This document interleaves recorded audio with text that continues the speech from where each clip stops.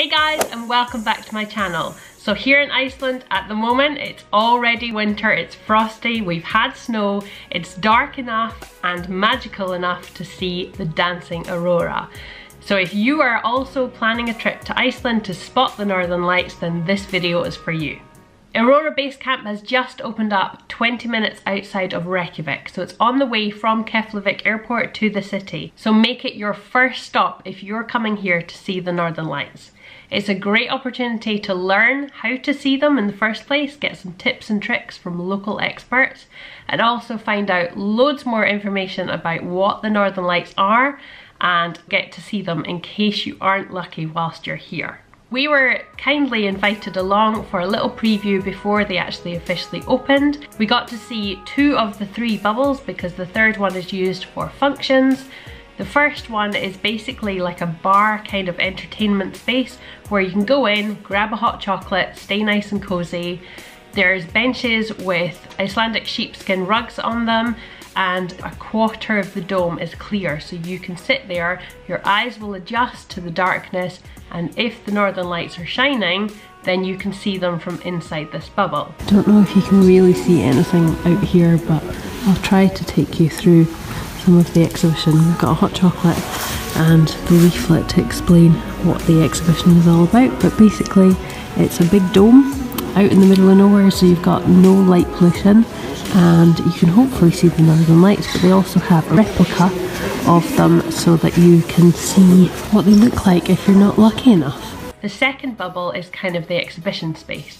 So you're taken by a local tour guide from the Aurora Base Camp through the exhibition and they will explain what the Northern Lights are, a little bit of the science behind them. They have replicas of the lights in tubes so you can see the different kind of light and colour um, from the chemicals. I'm not going to try and explain too much about it. I'll let them do that. It's when charged particles cross into uh, yeah, oxygen and nitrogen. The oxygen is the green color. Typically you see the green color when the, the collision is with the oxygen. In this space it's also really really dark so it means that your eyes will adjust so that when you go outside into the park area you'll be able to see the lights if they are there. So whilst we were there, unfortunately it was too cloudy so we didn't get to see them. Basically you need a dark night. you can't see them in daylight, so the summer is completely out.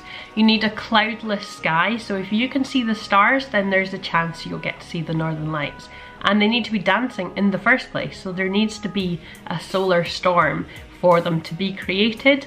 So those three things and a bit of luck and hopefully you'll get to see the Northern Lights dancing whilst you're in Iceland. It is a really cool experience, even just for a bit of extra information. It's on your way into the city, so make it your first stop before you go off and explore Iceland on your own. Good luck in your Northern Lights hunt and feel free to comment down below if you have spotted the Northern Lights whilst you've been in Iceland. Give this video a thumbs up Subscribe to my channel so that you also get to see the other videos and vlogs that we're making. Hit the notification bell so that you don't miss out on anything and I'll see you in another video soon.